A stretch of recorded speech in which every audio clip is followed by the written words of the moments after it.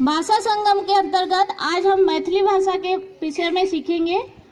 ये भाषा ज़्यादातर झारखंड और बिहार में बोली जाती है। नेपाल में ये उनकी दूसरी लैंग्वेज है लेकिन हमारे इंडिया में बिहार और झारखंड में ज़्यादा बोली जाती है। तो मैं बोलूँ और आप बोलेंगे ठीक है? नमस्कार। व्हाट इज़ योर नेम अहाँ